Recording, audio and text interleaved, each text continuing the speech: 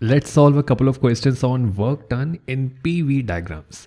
So first one is a gas expands at constant pressure of 10 atm from 4 liters to 15 liters.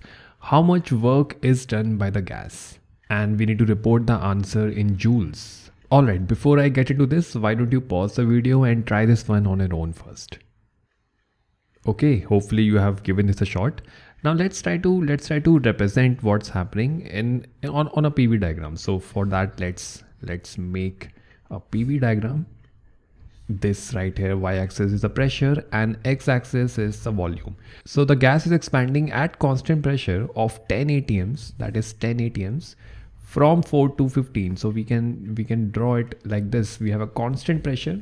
This pressure right here, this is this is given to be as 10 atm and the gas is going from from this volume of 4 liters to this volume of 15 liters. So when the pressure doesn't change and there is a change in volume that process it's really called an iso isobaric process. Iso means constant and baric refers to uh, you might derive it from barometer which is used to measure pressure. So constant pressure process which is an isobaric process now work done, work done by the gas, we know that work done by the gas that is that is really given by P delta V. And here P that is 10 ATMs and delta V is going from 4 to 15 so that is 15 liters minus 4 liters. So this really comes out to be equal to 110 because 15 minus 4 is 11 110 liters atmosphere. And we need to represent the answer in joules and and we know that 1 liter atmosphere 1 liter atmosphere this is equal to 101.3 joules. So so we can multiply this number with 101.3 to get the answer in joules. And when we do that this comes out to be equal to this is this is equal to 11143 joules so this is the work done by the gas when it expands at constant pressure from 4 liters to 15 liters. And we need to understand here that also the, the work done in a PV diagram is always the area, always the area under the curve. So if we look at this area right here, look at this area, we know that this is a rectangle area really this is length into width and length here is we can say that length is this pressure right here that's p and width is nothing but delta V, the change in volume. So we can write that this as P into delta V. And this is really important because mostly we are asked to calculate work done by the gas or on the, on the gas in PV diagrams. And we need to know that the area under the curve, area under the PV curve is always the work done. Okay, let's look at one more question now.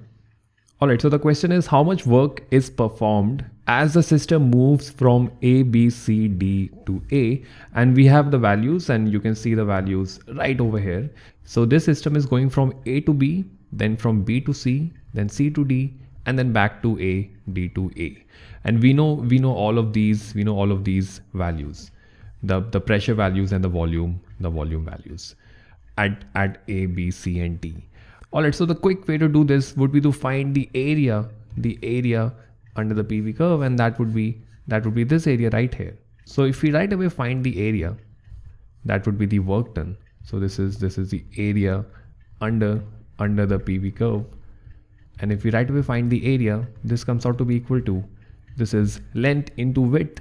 So length we can take length as as a change in pressure. So that is 4 into 10 to the power 5 pascals and delta V that is 0.8 minus 0.2 so that is 0.6 meters cube.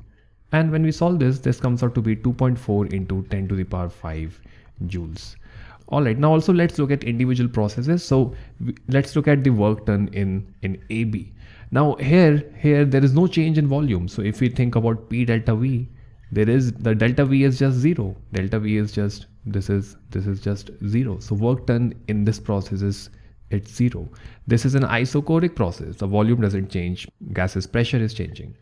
If you think about BC, now let's highlight BC with, with this color, with this color. So the work done here is always the un area under the curve and that would be entire, this entire area, right? This entire area under, under this, under the line BC. Okay, so when we do calculate this, we can use, again, we can use P delta V. So let's let's stick with this color P delta V. And now P this is 5 into 10 to the power 5 and delta V that is 0.8 minus 0.2 so 0.6 this comes out to be equal to 3 into 10 to the power 5 joules.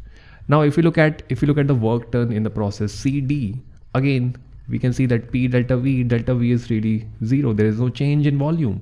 So this work is zero. And finally let's take yellow color now for work in process DA again this is P delta V. And now the area under this curve would be this area. This area right here under DA so this is this is this is 1 into 10 to the power 5 pascals into minus 0.6 because now final volume is 0.2 initially 0.8 so 0.2 minus 0.8 that is minus 0.6 and this comes out to be equal to minus 0.6 into 10 to the power 5 joules. Now to find the total work done in this cyclic process A, B, C, D, A, we can add, we can add all of these works. We can add this, we can add this, this, and finally, finally this.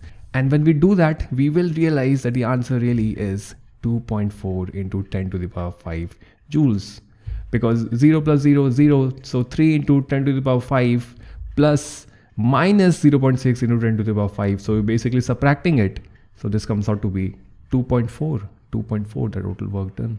Just how we calculated it initially in a quicker way by finding the area under the PV graph.